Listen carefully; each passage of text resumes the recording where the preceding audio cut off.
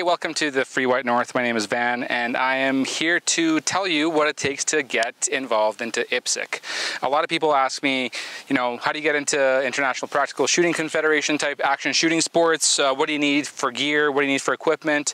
Um, and the first thing I'll say is you need to get your restricted firearms license in Canada, and you need to uh, purchase a firearm.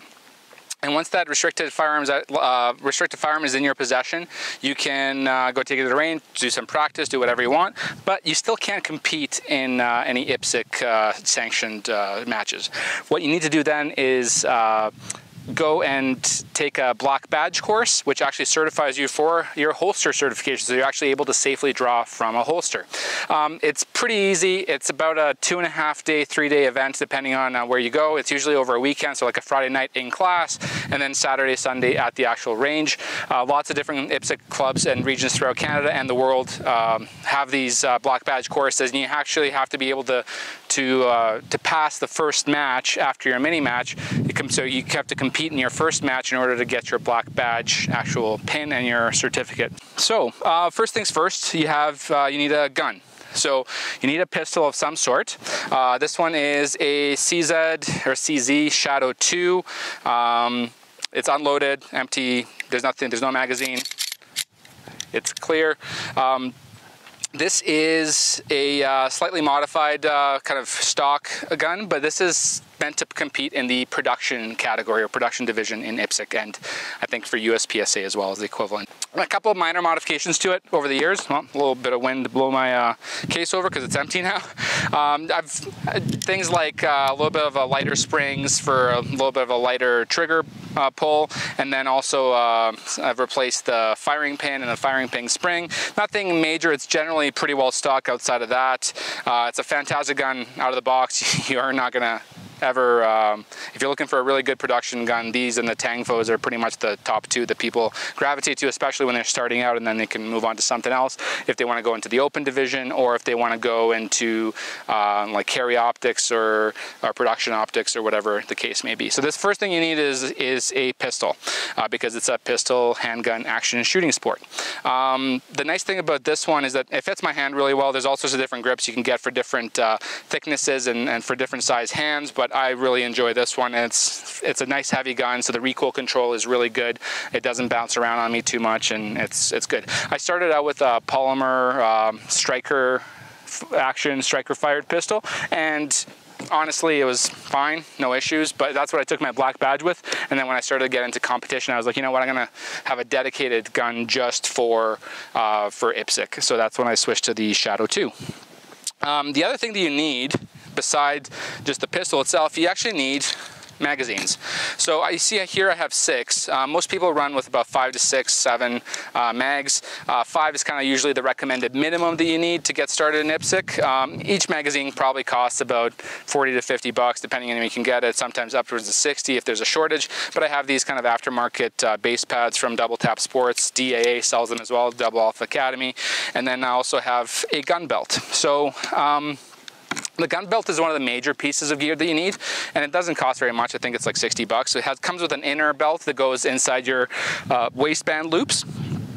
And then this has Velcro on the other side and it all kind of cinches in and it uh, helps keep the belt on you because I mean once you load this up with six magazines, full of ammunition, a holster and the gun, it can sag pretty good. So it does come with a keeper as well. And there are some regulations around your belt as well and that's all explained in the black badge course what, you know, how many keepers you have to have if it's not a, if it doesn't go through so many loops and then there's all sorts of different little minutia of detail that you get into. But Obviously, the, the gun belt is very important, and then you have to have some sort of mechanism so the, to keep your um, magazines on your belt. So these are mag holders, mag pouches, whatever you want to call them. And then there's actually a, kind of an optional, a lot of guys run this as well as a magnetic, either they mount it onto the side of here or they have it separate on the back so that you have just an extra spare. A lot of guys will run a uh, an extra round because mag magazine capacity is 10 in production as well as in Canada anyway. So just overall for pistols. So they'll run one in the chamber off of kind of like a, I forget what the actual term is, but uh, that's what they run in the chamber and then they load their mag when they're ready to go.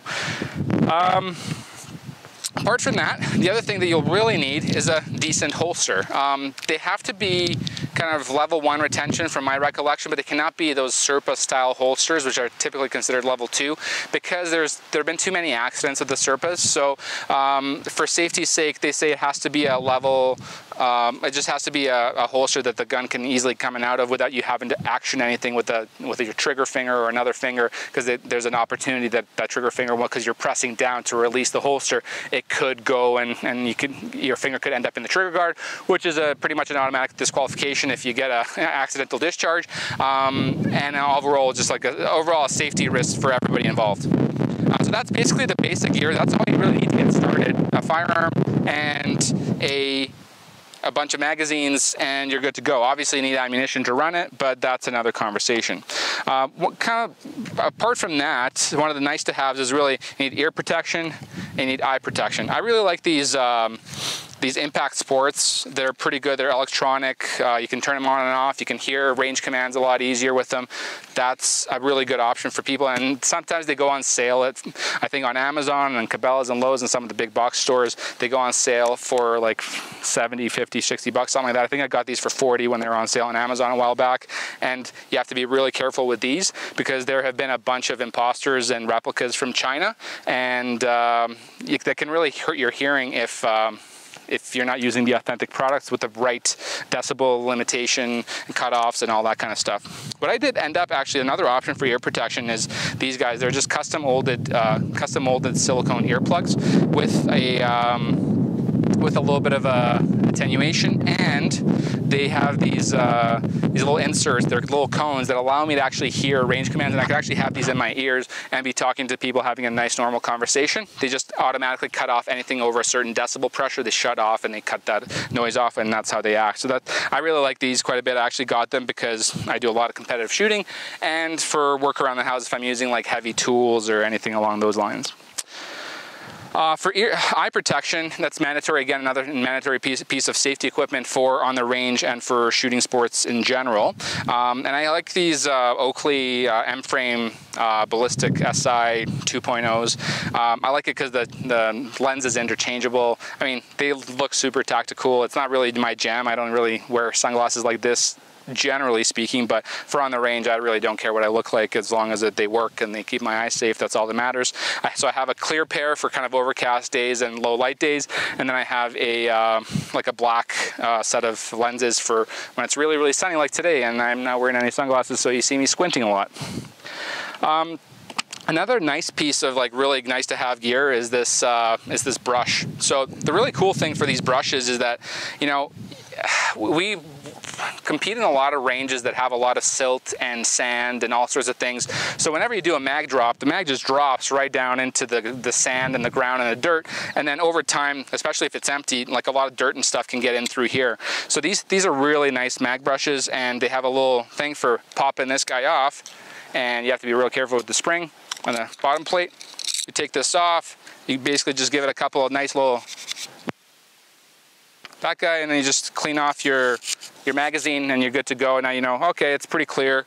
I'm good to go. I can reassemble this and move on. And you do that same thing in between stages or halfway through, like a lunch break or whatever it is, just to make sure you don't get any jam ups because, you know, half a second could be, you know, first place to last place sometimes, so you never know. Um, so that's basically that gear. And then the last piece of gear that I would really recommend, it's optional, it's not mandatory by any stretch, you don't need it for competing, but it's a speed timer or a shot timer. So I have this speed timer 3000 here. Uh, I think I found it on sale not too long ago for like 120 bucks or something like that. I think it was also from Double Tap Sports and um, they they're really, really useful because if you're on the range by yourself, you can kind of clip it to your pants and go, okay, I want to do some practice. I want to practice my draws. So you can set par time, or you can actually, if you're doing live fire practice, you can set it up to, to time every single one of your shots. You can see how long it took you from draw to the first shot. Um, and you can see, oh, this took me like two and a half seconds, so that's really slow. I should try to get that under about a second and a half or whatever your goal you're trying to achieve, however fast you're getting. So you're actually can track your progression and, and see if you're getting any better or faster. So that, that's really good. And then the par time is really handy in the sense like if you're doing dry fire practice at home, um, you can set your par timer. So what it does is it gives you the go signal, and as soon as you get the go signal, you draw, you do your thing, and you try to beat the, the second beep. So the, the par timer is effectively just from the beep go to beep stop, and you're trying to beat that second beep. So that's a really useful tool for practicing and for trying to get better. I use it all the time. And I have a couple of different timer options. There's actually even some uh, shot timer applications you can buy for your iPhone or your Android that work kind of in the same way. The I would just say that in real world practice, I would prefer one of these, uh, but the other ones are really good for home. If you're doing dry fire, they're fine as well. Uh, so for par time and that kind of stuff. The sensors on these ones, the microphones are a lot better and they're a lot better at um, filtering out echoes and second shots and that kind of stuff so you don't get any confusing data that you're like, what the hell is this? So that's it. That's basically all the gear you need to shoot IPSC. Uh, most important thing is be safe. Take your black badge course if you're in Canada or anywhere else in the world to compete IPSC and uh, gear up. Thanks for watching.